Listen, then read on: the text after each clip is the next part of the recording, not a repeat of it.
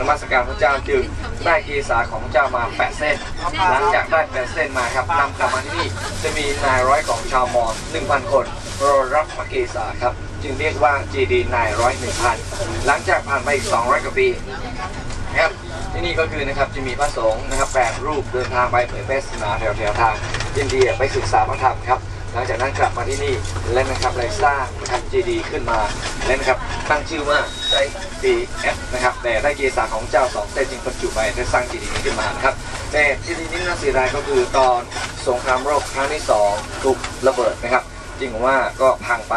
หลังจากพังไปนะครับ ก็เจดีย์นี้ก็สาของเจ้าใส่ในจี้ไว้ครับส่ในจี้ไว้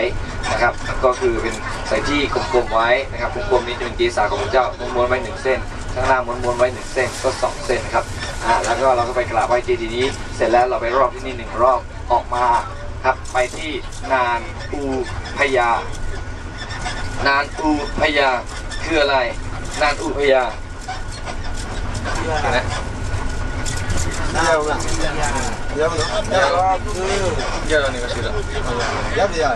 นะ Sì, diavolo. ย่าไอ้ไม่สวยเยอะอะไรไหม มาเดี๋ยวตอนนี้นะครับเดี๋ยวผมจะจอดรถที่นี่ให้ครับเดี๋ยวสำหรับนะครับ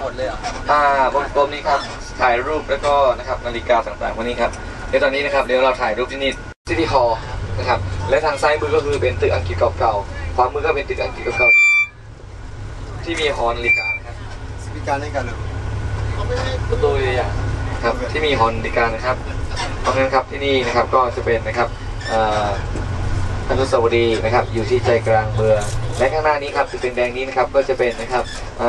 จะเรียกว่าทัวร์เลขนะครับทัวร์เลขครับไม่ยังไม่ใช่ไปรษณีย์ครับเป็นทัวร์เลขครับติ๊กติ๊กติ๊กนะครับต่างชาตินี้